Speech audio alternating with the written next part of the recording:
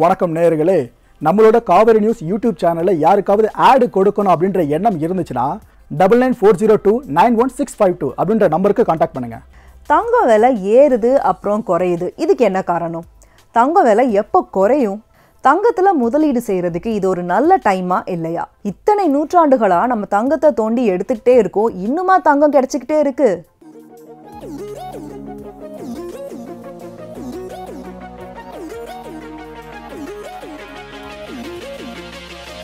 Welcome to Naveeno show என் பேரு நிஷா இந்த எபிசோட்ல இன்னும் வேர்ல்ட்ல எவ்வளோ தங்கம் மீதி இருக்கு அப்படிங்கறத பத்தி பார்க்க போறோம். கடந்த ஆகஸ்ட் மாதத்துல தங்கத்தினுடைய விலை வரலாறு காணாத அளவுக்கு உயர்ந்திருந்தது. ஒரு அவுன்ஸ் தங்கத்தோடைய விலை சுமார் இரண்டாயிரம் டாலர் வரைக்கும் உயர்ந்தது. இதை நம்ம யாருமே மறந்திருக்க மாட்டோம்.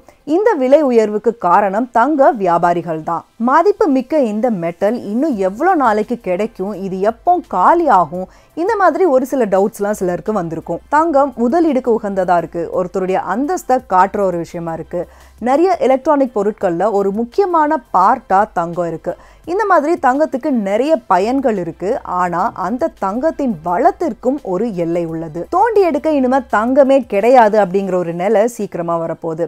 ஒரு ஆண்டுல எவ்வளோத்துக்கு நம்ம தங்கத்தை எடுத்திருக்கோம்? எவ்வளோ தங்கத்தை தோண்டி எடுத்திருக்கோம் அப்படிங்கிறத கணிக்கிறதுக்காக உச்சநிலை தங்கம் அப்படின்னு ஒரு ஃபார்முலா இருக்கு. அந்த ஃபார்முலா படி ஆல்ரெடி அந்த உச்சநிலையை நாம எட்டி விட்டதா ஒரு சிலர் நம்புறாங்க. இரண்டாயிரத்தி பத்தொன்பதாம் ஆண்டு வேர்ல்டில் இருக்கிற எல்லா தங்க சுரங்கங்கள்லேருந்தும் வெட்டி எடுக்கப்பட்ட இல்லைன்னா தோண்டி எடுக்கப்பட்ட தங்கத்தின் எடை எவ்வளோன்னா three thousand five hundred and thirty one ton மூவாயிரத்து ஐநூற்று முப்பத்தி ஒரு டன். இந்த குவான்டிட்டி இந்த எடையானது அதற்கு முந்தைய ஆண்டான இரண்டாயிரத்தி பதினெட்டாம் ஆண்டு வெட்டி எடுக்கப்பட்ட தங்கத்தின் குவான்டிட்டியை விட ஒரு சதவீதம் குறைவு. இது நான் சொல்லலை வேர்ல்ட் கோல்ட் கவுன்சில் சொல்லியிருக்கு. இரண்டாயிரத்தி எட்டாம் ஆண்டுக்கு அப்புறம் தங்க உற்பத்தி குறைவாக இருக்கிற ஒரு ஆண்டு அப்படின்னா இரண்டாயிரத்தி பத்தொம்போதாம் ஆண்டு தான் வரக்கூடிய ஆண்டுகளில் கோல்ட் மைன்ஸில் கிடைக்கக்கூடிய தங்கத்தின் அளவு குறையக்கூடும். இப்போதைய கையிருப்பு வளங்கள் குறையும் போது புதுசா வேற எங்க தங்கம் கிடைக்கும்னு நம்ம தேடினாலும் அது கிடைக்கிறது கஷ்டம்தான். ஏற்கனவே அதிகபட்சமாக தங்கம் வெட்டி எடுக்கும் நிலையை நம்ம அடைஞ்சிட்டோம். இன்ஃபேக்ட் அந்த நிலை வந்து நம்ம நினைச்சதை விட கொஞ்சம் ஏர்லியராகவே வந்திருக்கு. தங்கம் கிடைக்கும் உச்சபட்ச நிலையை நாம இப்பவே எட்டிட்டாலும் இம்மீடியட்டா அதாவது அடுத்த ஆண்டே தங்க உற்பத்தியில சரிவு ஏற்படுமான்னு கேட்டிங்கன்னா அதுக்கு பதில் இல்லை தான் அதுக்கு பதிலாக அடுத்தடுத்த ஆண்டுகளில் தங்க உற்பத்தி கொஞ்சம் கொஞ்சமாக குறையும். படிப்படியாக குறைஞ்சிட்டு வரும். பூமிக்கடியில் இன்னும் எவ்வளோ கோல்ட் டெபாசிட்ஸ் இருக்குது அப்படிங்கிறத தங்க சுரங்க நிறுவனங்கள் ரெண்டு வழியாக சொல்கிறாங்க முதல்ல தங்க படிமங்கள். அதாவது இப்போ இருக்கிற தங்க விலையிலேயே தோண்டி எடுக்கிறதுங்கிறது பொருளாதார ரீதியில் சாத்தியமான வழிமுறை. அடுத்தது ஆதார வளங்கள். மேலும் பல ஆய்வுகள் செஞ்சு அதுக்கப்புறம் தங்கம் எங்க இருக்குதுன்னு கண்டறிஞ்சு தோண்டி எடுக்கிறது தான் இந்த ஆதார வளங்கள். இது ரொம்ப காஸ்ட்லியான ப்ராசஸ் ஆனால் இந்த ஆதார வளங்களை விட தங்க படிமங்கள் எங்கே எவ்வளோ இருக்குதுங்கிறத ரொம்ப ஈஸியாக கணக்கிடலாம். பட் அதோட ப்ராசஸ் அதாவது அதனுடைய பணிகள் லேபர் அதெல்லாம் ரொம்ப கஷ்டமாக இருக்கும். பூமிக்கடியில் இப்போ ஐம்பதாயிரம் டன்கள் அளவுக்கு தங்க படிமங்கள் இருக்கிறதுக்கு சான்சஸ் இருக்குன்னு அமெரிக்க ஜியாகிராஃபிக்கல் ஆய்வு நிறுவனம் சொல்லியிருக்குது.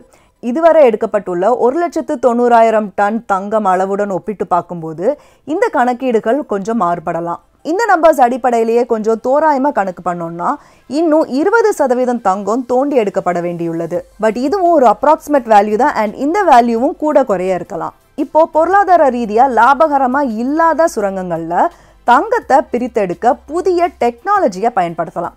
புது தொழில்நுட்பத்தை பயன்படுத்தும் போது நமக்கு அதிகபட்ச தங்கமும் கிடைக்கும். தங்கத்தை எடுக்கிறதுக்கான செலவும் குறைவாகும். ஏற்கனவே ஒரு சில கோல்ட் மைன்ஸ்ல மனுஷங்களுக்கு பதிலாக ரோபோக்கள் பயன்படுத்தப்பட்டு வருகின்றன. சுரங்க தொழிலை ஈஸியாக்கக்கூடிய தொழில்நுட்பங்களை உருவாக்கும் முயற்சிகள் அதிகரிக்கும் என்று எதிர்பார்க்கப்படுகிறது. தங்கம் தோண்டி எடுப்பது கடினமானதாகவும் அதிகம் செலவு பிடிக்கக்கூடியதாகவும் இருக்கு. இப்போதைக்கு வேர்ல்டில் அதிகமாக கோல்ட் டெபாசிட்ஸ் எங்கெல்லாம் இருக்குதுங்கிறத பார்க்கலாம். உலகத்திலேயே ரொம்ப பெரிய தனிப்பட்ட தங்க ஆதார வளம் இருக்கிற ஒரு இடம்னா அது சவுத் ஆப்பிரிக்கா தான். சவுத் ஆஃப்ரிக்காவில் விட் வாட்டர் ஸ்டாண்ட் பேஸ்ன்னு ஒரு இடம் இருக்கு. இது வரைக்கும் தோண்டி எடுக்கப்பட்டுள்ள தங்கத்துல முப்பது சதவீதம் இந்த இடத்துல இருந்து தான் வந்திருக்கு. சைனாவில் ரொம்ப ஆழமான எம்பனங் சுரங்கம் அப்புறம் ஆஸ்திரேலியாவில் சூப்பர்பிட் மற்றும் நியூமான் பாடிங்டன் சுரங்கங்கள் இந்தோனேஷியாவின் கிராஸ்பர்க் சுரங்கம் அண்ட் அமெரிக்காவினுடைய நெவேடா சுரங்கங்கள் இதெல்லாமே மிகப்பெரிய ஆதார வள தங்க சுரங்கங்களாக இருக்குது அதிக தங்க சுரங்கங்கள் கொண்ட நாடா சைனா இருக்கு. கனடா பெரு ரஷ்யா இதெல்லாமே அதிக அளவில் தங்கத்தை உற்பத்தி செய்கிற நாடுகளாக இருக்குது கம்பெனிகள்னு பார்க்கும்போது உலகத்தில் இருக்கிற பெரும்பாலான தங்க சுரங்கங்களை சொந்தமாக வச்சிருக்கிற நெவாடாவை சேர்ந்த பேரிக் கோல்ட் கம்பெனி இந்த கம்பெனி தான் மிகப்பெரிய கோல்ட் கம்பெனியாக இருக்குது வருஷத்துக்கு three point five million ounce of கோல்டை இந்த கம்பெனி உற்பத்தி செய்யுது புதிய தங்க சுரங்கங்களை மனுஷன் அப்பப்போ கண்டுபிடிச்சிட்டே இருந்தாலும் பெரிய அளவில் கோல்ட் டெபாசிட்ஸ் இருக்கிற பகுதி நம்ம கண்ணுக்கு தென்படுறது ரொம்ப அபூர்வமாக தான் இருக்குது இதனோட விளைவாக தான் பல ஆண்டுகளாக பயன்பாட்டில் இருக்கிற பழைய தங்க சுரங்கங்கள்ல இருந்து மட்டும்தான் நமக்கு இப்போ கோல்டு கிடைக்குது. அடுத்தது கோல்ட் மைன் பணிகளை பற்றி பார்க்கலாம். அந்த தங்க சுரங்கத்தில் வேலை எப்படி நடக்குது அது கடினமானதா அதை பற்றி பார்க்கலாம். பெரிய அளவில் சுரங்க பணியை மேற்கொள்றதுங்கிறது அதிக முதலீடு தேவைப்படும் ஒரு தொழிலாக இருக்கு. நிறைய இயந்திரங்கள் தேவைப்படும். அப்புறம் பூமிக்கு அடியில் பரந்த பகுதியில் ஒரு சுரங்கத்தை அமைக்கிறதுக்கு நிபுணர்களுடைய ஆலோசனை தேவைப்படும். இந்த மாதிரி நிறைய ரிக்வயர்மெண்ட்ஸ் இருக்கும். இன்னைக்கு உலகத்துல சுரங்க செயல்பாடுகள்ல அறுபது சதவீதம் திறந்த சுரங்கங்களாக சுரங்கங்களா தான் இருக்கு. மீதியுள்ளவை பூமிக்கு அடியில் உள்ள சுரங்கங்களா தான் இருக்கு.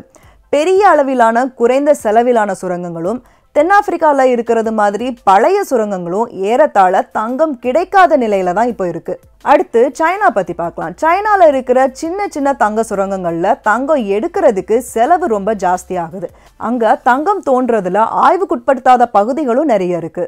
மேற்கு ஆப்பிரிக்கா போன்ற உலகின் அன்ஸ்டேபிள் பகுதிகளில் நம்பிக்கை தரக்கூடிய சில சுரங்கங்கள் இருப்பதாக கருதப்படுகிறது.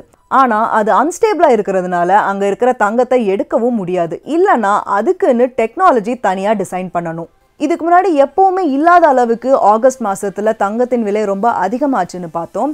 அந்த விலை உயர்வுக்கு காரணம் தங்கத்தை வெட்டி எடுப்பதுங்கிறது ஒரு லாங் ப்ராசஸாக இருக்கிறதுனாலையோ இல்லைன்னா தங்கத்தை வெட்டி எடுக்கிறது அந்த மைனிங் ஒர்க் அந்த மைனிங் லேபர்லாம் ரொம்ப ஆபத்தானதாக இருக்கிறதுனாலையோ இல்லை. உண்மையில் தங்க சுரங்கத்தில் ஏற்படும் மாற்றங்கள் காரணமாக தான் தங்கத்தின் விலையும் மாறிட்டு இருக்கு. தங்க சுரங்கத்தில் ஏற்படும் மாற்றங்கள்னா அந்த ஒரு சுரங்கம்னு இருக்கும்போது அதில் எவ்வளோ தங்கம் இருக்குது அதனுடைய உச்சநிலையை நம்ம எப்போ அடைவோம் இந்த மாதிரி மாற்றங்களை தான் வந்துட்டு நம்ம இங்கே மாற்றங்கள் அப்படின்னு குறிப்பிடுறோம். ஸோ இந்த ஃபேக்டர்ஸ் எல்லாம் நம்ம கருத்தில் கொண்டு பார்க்கும்போது தங்கத்தின் விலை போன்ற புற காரணிகளுக்கு ஏற்ப சுரங்க பணித்திட்டங்களை மாற்றுவதற்கு கால அவகாசம் கண்டிப்பாக தேவை. ஸோ இந்த கோவிட் நைன்டீன் கட்டுப்பாடு காலத்தில் வரலாற்றில் இல்லாத அளவுக்கு தங்கத்தின் விலை உயர்ந்ததுக்கு காரணம் தங்கம் தோண்டி எடுக்கிறதுக்கு ரொம்ப சிரமமாக இருந்ததுனாலையும் வைரஸ் பரவுறதை தடுக்கிற நோக்கத்தில் சுரங்கங்கள் மூடப்பட்டது இல்லைன்னா பகுதி அளவு மூடப்பட்டதுனாலையும் தான். இன்னொரு ஒரு முக்கியமான விஷயம் என்னன்னா இந்த கோவிட் நைன்டீன் பீரியட்ல ஒரு இக்கனாமிக் அன்ஸ்டேபிலிட்டி இருந்தது. அதாவது பொருளாதார நிச்சயத்தன்மை இல்லாத ஒரு சூழ்நிலை இருந்தது. அப்போ தங்கத்தில் முதலீடு செய்கிறது தான் ஒரு நல்ல டெசிஷன் தங்கத்தில் முதலீடு செய்கிறதுனால நமக்கு எந்த ஒரு ரிஸ்க்கும் இருக்காது அப்படின்னு நிறைய பேர் நம்பி தங்கத்தில் இன்வெஸ்ட் பண்ண ஆரம்பித்தாங்க தங்கத்தில் நிறைய பேர் இன்வெஸ்ட் பண்ணதுனாலையும் தங்கத்தினுடைய விலை அதிகரிச்சது. பூமிக்கு அடியில் எவ்வளோ தங்கம் இருக்கும் என்பதை கணக்கிடுவது ரொம்ப கஷ்டம்தான். இருந்தாலும் அது மட்டும்தான் ஒரே ஆதார வளம்னு கிடையாது. நிலாவில் கூட தங்கம் இருக்குது. இருந்தாலும் அங்கே சுரங்கம் அமைச்சு தங்கம் எடுத்து பூமிக்கு கொண்டுட்டு வர்றதுக்கான செலவு ரொம்ப ரொம்ப அதிகமாக இருக்கும். பூமியில் இருக்கிற தங்கத்துக்கே இவ்வளோ ரேட் ஆகுது. இதில் நிலவில் இருந்து தங்கம் வாங்கணும் அப்படின்னா நாம் வாங்குற அளவுக்கு கண்டிப்பாக அந்த ரேட் இருக்காது. அந்த தங்கத்தை விற்பனை செய்கிறது மூலமாக கிடைக்கிற தொகையை விட அதை எடுக்கிறதுக்காக ஆகிற செலவு தான் ரொம்ப ஜாஸ்தியாக இருக்கும். அதே போல அண்டார்டிகாலையும் சிறிதளவு தங்க படிமங்கள் இருக்குது. அங்க நிலவும் அசாதாரணமான வானிலை காரணமா அதை தோண்டி எடுக்கிறதும் பொருளாதார ரீதியில சாத்தியமில்லாத ஒன்றா இருக்கு. பெருங்கடல்களுடைய தரைமட்டத்துல கூட தங்க படிமங்கள் சிதறி கிடக்குது. அதை மைன்படி எடுக்கிறது கூட பொருளாதார ரீதியா ப்ராஃபிட்டா இருக்காது. கச்சா எண்ணெய் மாதிரி புதுப்பிக்கத்தக்க தன்மை இல்லாத ஆதார வளங்கள் மறுசுழற்சி செய்யக்கூடியவை. தங்கம் அது போல கிடையாது. நாம தோண்டி எடுக்காம போனாலும் தங்கம் இல்லாம போயிடாது அங்கே தான் இருக்கும். செல்போன்கள் போன்ற மின்னணு சாதன பொருட்களில் பெருமளவு தங்கம் பயன்படுத்தப்படுகிறது.